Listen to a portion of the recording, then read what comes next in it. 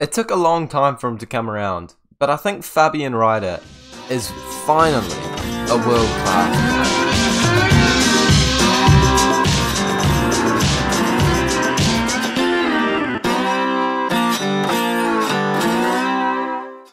Hey guys, and welcome to the 22nd episode of the FM23 West Brom Save with me, Racso FM, where today we are playing against Newcastle and then Nottingham Forest as we try to get back to winning ways after losing our last two games against Tottenham and Wolves, as we are sitting pretty up in 5th place in the Premier League, 32 points from 15 games, and still doing a very good job. Only seven points away from the top spot, Aston Villa. So if we can come away with some wins in today's episode, we could be pushing for those top spots. And of course, I want to go over this man, Fabian Rieder, and what we have done to turn him into an awesome player. What a bargain he can be. But first, if you are excited for today's episode, please make sure you do smash the like button as well as subscribing to the Racso FM YouTube channel so you don't miss more football manager content just like this. Can we please smash whatever like target you can give me today? And let's quickly go over what has happened since last time we saw each other. So, it has been a decent run of form overall, I'd say. We beat Leeds, we drew to Everton away from home, beat West Ham, lost in the Carabao Cup, but straight away beat Brentford uh, away from home, beat Man City, Manchester United, sorry, at home, lost to Tottenham, and lost to Wolves, but both being away from home. I feel like they're not that bad of results. So it's it's it's not elite form, but it is okay form, and we're coming into a decent run here of four games that I think we could comfortably compete or I'd say win. So I'm hoping that that happens. Going into the January transfer window, we should have a lot of momentum, and the second half of the season will obviously be crucial. But I do think this man Rieder and CDM has really been an unsung hero in the save. And I think he's only just really started being a world class player. We bought him in for £22 million. I think we originally paid about 15 mil for him. Um, he's got a bunch of potential, and we've retrained him as a CDM, and he just suits the role so well. He's now able, able to play as a box to box midfielder and central midfield as well, I would say, with the 10 shooting that we've given him from uh, focusing on his shooting for about three years and he's just decent now. You know, he, he played in the championship, did a decent job. Last season, two goals, two assists. This season, one goal, two assists, and he's just doing a great job in that CDM role. I think he's a really good pickup for the price that you pay. Got great longevity, and obviously still only 24 years of age. Considered to be a good Premier League player, but I think he will be a leading one at some point very soon. But I really do back him. I think it was a great signing recommend picking him up if you need a budget central midfielder option. Uh, yeah, Fabian Rieder, definitely not a bad player. And he actually just won um, the goal of the month. Goal of the month. There we go. See, look, there's good things going on in his career. I did need a title to be honest. So you know, it's good for me to talk about things every now and then. But for now, this is all we have to go off. We we don't have transfers to talk about. Transfers are coming in the next episode, uh, and I mean, this is the team that we're going with. No huge injuries. Gakpo is back, and actually he's been pretty horrendous since he returned. He hasn't scored a single goal, I don't think, since he has come back, which isn't ideal. I do think I back him to, to start scoring again. He was on fire at the start of the season. I'm sure he will come away with a couple goals here and there. And this Newcastle game should be difficult, but I back the team of Miranda. We've got Anthony Omeragic, We've got Royal, uh, Lafont, Rieder, Gallagher, Almada, Edwards, Mudryk, and Gakpo up top. A stacked bench too. Lots of squad depth in this in, in this team. I think we're on the right track to building a team that is willing and able to compete in European competitions with the depth that we do have. Some serious youngsters, a bit of experience here and there. Uh, maybe something that we would need a wee bit more of actually if we were to get into Europe. But for now, this team is working a treat, and it is getting us the first attacking highlight of this game against Newcastle. It has straight away gone to them though, so I, I kind of regret saying that because I, I, think it might be their highlight. As Aarons the right back runs forward but gives it straight to Miranda, very easy intercept for him, and Gakpo's through. Is he going to end his goal drought? No, he does not. Not with a shot like that against Seaman. Uh, I think I'm saying that right. Like um, oh no, it's it's it's uh German, so it's probably not Seaman. Um, but you know, David Seaman might be a relative. He's not a relative, obviously, because he's German. But you know, I was, I was go, you know, the track I was going down. But anyway, he saved it. No goal for us, and now they're on the attack. As Parisi runs forward, plays it into Abraham, who is an incredible player in the save. We know all about him playing for the England squad, um, as of course we are the manager of that team. Uh, and he does a very good job for them. So I imagine he's going to be just as good for this Newcastle side as he's coming up against us. I think that that's that new Arsenal signing at centre back there. Be interesting to see what he progresses into in Football Manager because, to be honest, I had no idea who he was in real life. So very surprised when Arsenal picked him up for about 25 million pounds. Even as an Arsenal fan, I was surprised by that. But he's, he's getting some ball time here in this FM save. And he's creating an attacking opportunity for his side, playing it all the way back to him once again. Moves it forward into James Maddison, plays it back into their winger, trying to find space, trying to find the angle, and it's coming off Tammy Abraham. And I think that is a bit of luck there. He's just put the ball into the right area, to be fair to him.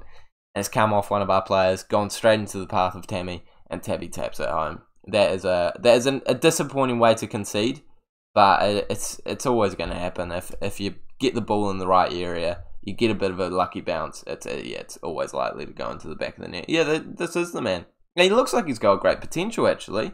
Make you feel a lot better about the signing of it. Although, in, in this they did pick him up for five point five. Arsenal paid about four times that. So you know, hey.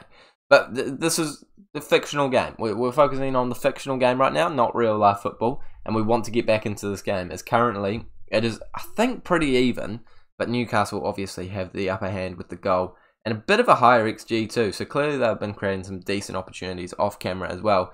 And we, not creating as many great opportunities, but have more shots than them. So let's see if we can create another shot and a better opportunity here as Anthony plays it forward into Almada. Mudryk running onto it. Has been playing well this season, but not a great pass from him there. Aarons is forced to pump it long, so Gallagher picks it straight back up. Gakpo almost collects, but it comes down to Edwards, who skips past a few defenders and honestly should be scoring from that kind of region. I think he has got the ability to roll that one home on his favoured left foot, right in front of the goalkeeper, cutting inside just like he is used to. He should be finishing it. But unfortunately, it's still 1 0 on the scoreline. But Mudryk's in, and I'm complaining about the right winger not being able to finish his dinner, cutting inside, going on his favoured foot. Mudryk hears me and he does the exact same. Cuts inside on his favoured right foot this time from the left hand side and he scores to make it 1 all. That is a beautiful goal. Gallagher always finding those pristine passes and Mudryk has been doing that a lot this season. He was not as good at it last year. Honestly, I was thinking about selling him at the start of this season uh, because we are going to pay about £24 million extra And once he hits 50 appearances, which is obviously a ton of money, going to come straight out of our uh, out of our transfer budget. So I'm a little nervous for that, but it's probably worth it now because he is scoring goals. He is about that value, um, so we are going to probably stick with him. Don't think I'll be looking to sell unless you know there's a big demand for him and we get a massive bid. In which case, I probably wouldn't say no. But hey, it's 101 the night, and Mudryk is the reason it is 101 the night. I am going to tell them I'm delighted with the performance so far because I actually am more happy with it than I am um, than I am unhappy with it because we've had 14 shots. They've had five. We've gone. We've come back into the game since I've uh, since I've scored that goal. But unfortunately, the man I'm talking about, Rieder, is looking tired. So Timber is coming straight on. Uh, we're also not seeing a lot from Gakpo. So you know what? I'm going to give him a bit of a warning. Bring Balikwisha on and see how he does for a game. He does get a lot of appearances, that man, Balikwisha, uh, but not many up top because we, I, I just back Gakpo. He's got good stats. He's scoring for fun at the start of the season, but after picking up that injury, he's just been horrendous. And Balikwisha might be the man to come in, score a goal off the bench for us, and potentially even push for that starting role. So let's give him a crack here, see what he does. Anthony's on the ball. Into Miranda. Miranda moves it into Gallagher. Edwards is in. He gets a second bite of the cherry. This time he does score it. I'm talking about, you know, he missed the earlier chance. I think he could be onside. I wouldn't put money on it. We're going to the review, and he is considered to be onside. Get in. That's exactly what we needed. Another assist for Conor Gallagher, too. Really good performance by that man during this game. And oh, he's comfortably onside. Takes it probably a touch further than he probably would, uh, would want to. But it's it's gone in the back of the net. He's curled it around the goalkeeper. That's all we need, and it is two one to uh to West Brom against Newcastle to put us in a decent position to push for those European spots. Well, obviously it's it's not not the end of the season quite yet, but we're in the right position right now, at the very least, as Miranda picks it up in defence, uh, plays it back to Timber, and Mudryk gets it. Almada in that midfield role, not done a whole lot today, but always connecting the play, always finding the passes. And here is Balikwisha off the woodwork. Oh, that would have done so well for him. I want to say I think he might have started in the next game if he scored that one, but he's got more opportunities. 20 minutes of football left to play as they have a great free kick saved by our goalkeeper. Uh, we're going to bring on a young left back. Uh, I, I, can't remember what we decided his name was going to be. Silas, that's right, because his uh, names are very difficult to pronounce. And i got to bring someone off. i got to bring someone off. Nah, I don't. I'll save the last two subs for later in the game. But now that's all I feel the need to do. Left back switch. Miranda has been playing well, but with a yellow card and a wee bit of a tired uh, heart, it does make me think maybe it is best to rotate. And Neves was very close from the last free eh, free kick. I don't like our positioning. It's off the woodwork. Lafont, I do think you needed to be a bit further over there. Luckily, it hasn't cost us, and luckily, we are still 2 1 up in this game. 10 minutes to go now. I'm probably going to make those final two substitutes just to give us completely fresh legs in there. Uh, Mariba's going to come. Yeah, Mariba's going to come on and let's get Leo on. Leo is not playing a lot of football, and I feel quite bad for him because he is good. He is good. We paid fifteen million pounds for him. He's got good stats, but I just I love Anthony. Anthony's been here for so long, played really well the entire time, and still got a wee bit of potential. And the new signing uh, uh, in the form of Omeragic has been really good too, and he's got more potential as well. I just think that they're, they're the nailed on centre backs for me. And we even got a target in the January transfer window that's a centre back too. That's just elite. So I'm not sure Leo's got a whole lot more time at this football club, but we'll focus on what's happening in this game right now, not on the transfers. We'll focus on them next episode. So do not miss it. It will be a good transfer window. I, I, I kind of guarantee it. I can't make any promises, but uh, I'm pretty sure it will be a decent one. But it is Newcastle on the ball right now, and that is nervy. Mariba off the bench, fresh legs. That's why we make these substitutes. Makes the inter- uh, makes the tackle though. Puts a ball into the mixer, and Gallagher. He is gonna get a team of the week card in foot uh, in FIFA this this this week in real life. If if it was real life, you know what I mean. You know what I mean. If he's played incredibly well this game, one goal, two assists, pops up and scores the header to guarantee the three points. I would say, moving us into fourth place, and that man is definitely the reason we have won this game. Conor Gallagher, mate, what a signing he was. Picked them up for such a cheap fee of like, what, £4 million or something like that? Knew that he had the ability. He knew that he had the ability. He's just stayed in the first team squad for years and years. Been a great signing. Absolutely influential all over the pitch. And he's led to us getting three points here. Maybe I should have uh, talked about Gallagher at the start of the episode, and that probably would have made more sense based off what's happening in, in today's game. But hey, Rieder, obviously a great player too. But today is all about Conor Gallagher coming in. For how much? It was it was eight million pounds. Eight million pounds. Scored one, got eight assists in the championship for the second half of the season. Three goals, six assists last year, and already looking like he will better at this season with two goals, three assists from 13 appearances. What a signing, what a player. And he's a central midfield player that you just need in your team four star current ability, considered to be a good Premier League player. I think he's world class. He is such a good player. But now we've got to go away from home against Nottingham Forest. I do think it should be a comfy win, comfy win with them down in 19th place. But I have a question. Do I start Gakpo? Yeah, I think I definitely do. We move up to third place if we win this game. Jumping into it, we're using the exact same lineup as last game. And I do back the boys. I don't back Mudryk. He looks tired as. Okay, let's get let's get Andrew Hall in there. I just I just like playing that youngster. He's not that insanely good, but he's a young player come through the West Brom Academy. I, I guarantee the fans absolutely adore him. So we'll give him a crack in this game. He's he's he's filling big big shoes here. Mudryk, obviously one of the best players in our team, but hey, Hall, he's got the experience in the Prem. Well, a wee bit of experience in the Prem, so he'll do he'll do good. And speaking of players that have experience in the Prem, just experience with us. Harwood Bellis is a man that we're playing against here. Good to see him again after leaving us uh, for like a eight million pound release clause or something like that. Uh, after we got relegated, I, I had no idea that release clause was even a thing to be. I think I was just I was just focused on staying in the Prem and getting these players signed. I, I left a pretty decent um, release clause, although we did get a, a good profit. Oh, almost getting an assist there. Gakpo still cannot score. Um, but yeah, probably shouldn't have left that one. I still regret the Rasmus uh, release clause. That that one hurts. That one still hurts quite a bit. But we did make a, a huge profit on him, obviously. But oh, it would have been nice to keep him. But another player that we have brought in instead of Rasmus, I guess, Almada. I, I guess we used the money exactly or do we sign? No, we signed him when we were in the Prem. We we didn't use that money. But Almada is a good player. I'm I was just trying to connect it to be honest. Another assist for Gallagher. He is on fire at the moment. It's a poor save by the goalkeeper, but Almada, he can just place it, put it into the back of the net, and that's exactly what he's done to make it 1 0 on the night.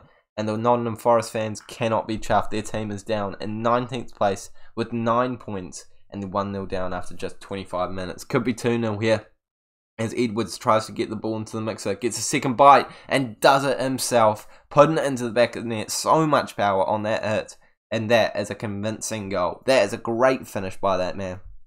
Two and two games too. He's looking like he is on form at the moment. Look at this. Picks it up, takes it past Harwood Bellis, puts it into the back of the net. The goalkeeper arguably could be doing better there, but there's just so much pace on it. It is hard to save. It's hard to see but he's made it 2 0 for us, and that's all we care about. 10 minutes to go until half time, and it is looking like we're going to come away with a, a convincing win in this game so far. But anything can happen in the second half. We're still going to have to be on the ball. Still going to want to see a goal from Gakpo because he cannot score to save his life. I sneezed, so I need to pause it. And we'll come straight back with the highlight. Oh no. And this is another player that I swear we had. Nino scoring against his former club. I'm pretty certain we had him. He was like a, a striker that we picked up for real cheap. Am I correct? I am correct. Yeah, two point three million pounds we brought him in for. Sold him for five million pounds. He's now worth thirty million pounds. I knew he was good when we signed him. I didn't really need to plan because I think we were using Brewster at that point in time. So yeah, we were pretty locked down in the strike area. I think I just picked him up because I knew I'd be able to turn a profit for him. But I, th I think Nottingham Forest are also going to turn a profit on him.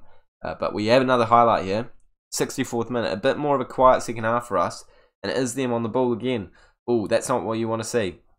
They could certainly bring it back. 2 0 down is a, is a dangerous scoreline, they always say, because if they get one back, momentum switches. And it looks like it has switched here. They play it in, put it into the mixer. Lafont makes a good save there. Calm hams, And we're going to make some substitutes. Gallagher's going to come off because he is looking tired. So Mariba's a like for like replacement. Edwards, even though he scored, going to come off and we're going to switch uh, Hall onto that right hand side because I've been training him on that right hand side for ages. He can now kind of do a job out there. So we're giving him another crack on the right hand side. Confuse the defenders as well. You know, left back, right back, going to have to switch the players that they're defending, see who they can pick up, see how they can defend them. And Mudryk surely is going to give us a wee bit of a boost off the bench. 10 minutes to go though. Still no Gakpo goal. I'm going to let him play the game out, but I am quite disappointed in the fact that he hasn't scored. We're going to go for the classic substitute of uh, Silas on for Miranda, giving him some game experience, and we've got one substitute left. I guess we'll make it now just because the time's running out. Um, Emerson's looking tired. Scally deserves a bit of game time. Let's make that Hope that no more highlights take place. I'm fine with that. I mean, another goal for us wouldn't do, be too bad, but a 2 1 win is decent too. And we've come away with six points from a possible six from this episode. And I will absolutely take that. Away from home against a, a Nottingham Forest side, a win is all you want, really, because those are always the uh, banana skin sort of situations. And again, Newcastle are a decent team. 3 1 win. It's a convincing win. I'll take those results. Very happy with it. And for now, that is all we have time for. Thank you so much for watching this one. If you have enjoyed it, smash the like button as well as subscribing. I will catch you in the January transfer window where we will be making some awesome signings. And I will see you all